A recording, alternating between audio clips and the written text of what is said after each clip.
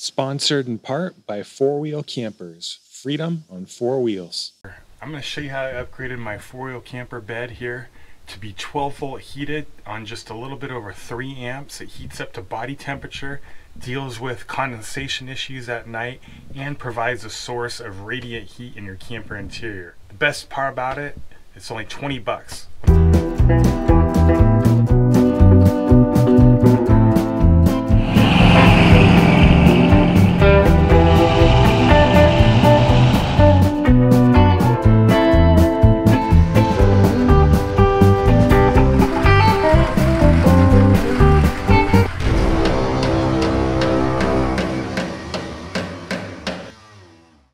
Project M on Big Red K10.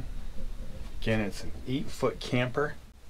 Actually, with it popped up though, here we are at the back wall. All the way to the front there, that's actually 12 foot. And I have a king size bed here. It's about six foot this way. I think about 78 inches that way. And I purchased the cushions from Four Wheel Camper. So it's these black cushions.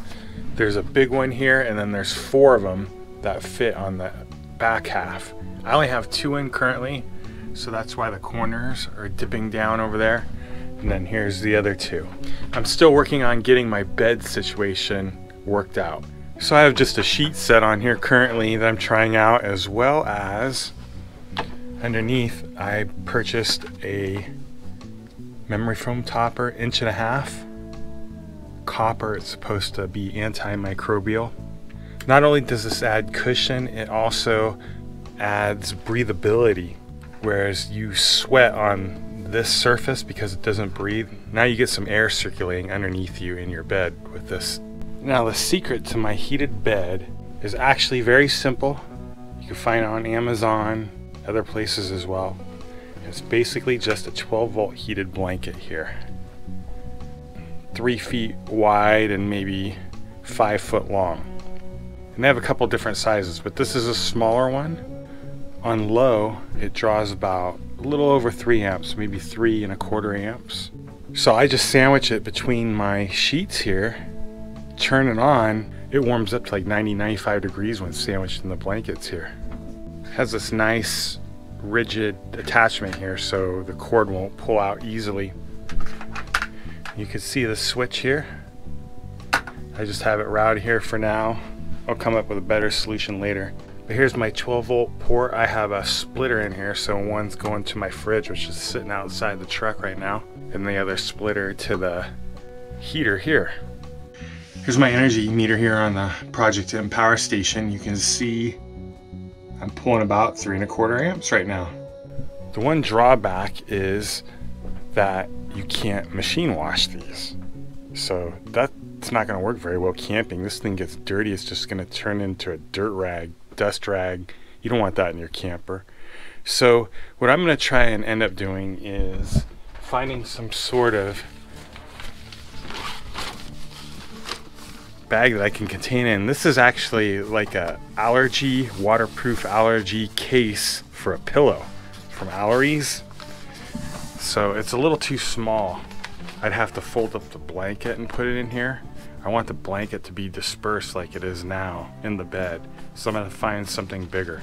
But I wanna seal it in something like this. That way it'll be protected from dirt and water and uh, it'll last a lot longer that way and stay clean. Now with the memory foam mattress underneath, this is breathable. Any condensation can evaporate out. This heats. Crack your vent up there. The heated vapor goes right out. It's really nice. And I can just leave this on in the morning for a bit and it just really makes sure the bed is ultra dry. It's temperature on the wall. You know, 57. It's looking like. But let's check the bed here. 58, 60. So let's click this bed on now. One thing I notice about this heating blanket in here is that it seems as if it, when it reaches a certain temperature has a sensor in it and it shuts off because I don't see the power draw right now. Just the lights are drawing power, but then I'll see it turn back on. So it must have some sort of temperature regulation in it so it just doesn't keep heating up, which is pretty cool. Fold this back now after an hour and see what the temperature is like underneath. Oh yeah.